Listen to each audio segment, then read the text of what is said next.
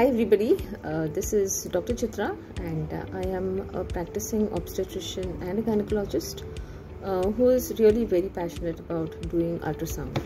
So I have been doing scans for quite a few years now and um, I have not really had very good formal training in that. So I was a little bit skeptical while doing the scans that I may have missed out something or when I'm doing the anomaly scan it could be that I have missed out an anomaly. So you know for the whole of the next five or six months from 20 weeks of pregnancy till the woman delivered I would really be very anxious to know whether the baby is normal or I have given a baby with some anomaly to the lady. So I was always on the lookout for some kind of training. But uh, due to my busy work schedule it was not possible for me to go and attend any uh, you know registered ultrasound course and then finally one day i came across this course which is run jointly by study MRCOG in association with ISUOG. It is an ISUOG approved course and the best part of it is that it is run online and they also have an uh, on-site hands-on training program. So after I joined this course really I was so happy because the course is very well organized.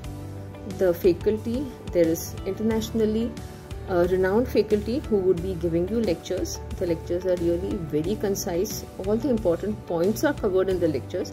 And the best part is they tell you like how you can optimize your image how to make best use of your machine. Like i have been using a very high-end machine but I was not able to uh, fully utilize the functions of that machine because basically I really did not know much about the machine. So the first lecture that we were given was uh, to know in depth about the machine, how to uh, fully use all the features that are there in the machine and then that helps you to optimize your images.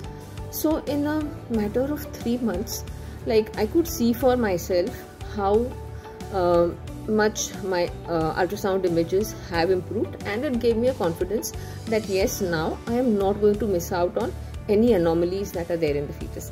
But the best part is when you get your feedback from the patients like patients um, the feedback was that patients wanted to see me to get a scan done because they said that yes if you go to this particular lady she will show you the baby in details like they could actually see the baby for themselves so that is the impact of this program.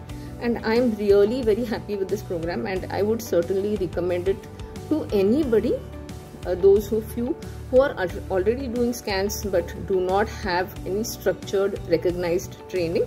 It will help you to definitely improve your skills. Whereas those who do not have any training you are taught everything from scratch. So it is a very good course for those who are just beginning to do scans and also those who are already doing scans to fine tune your scans okay? So i would highly recommend it to all of you and uh, you would certainly benefit from that program. Thank you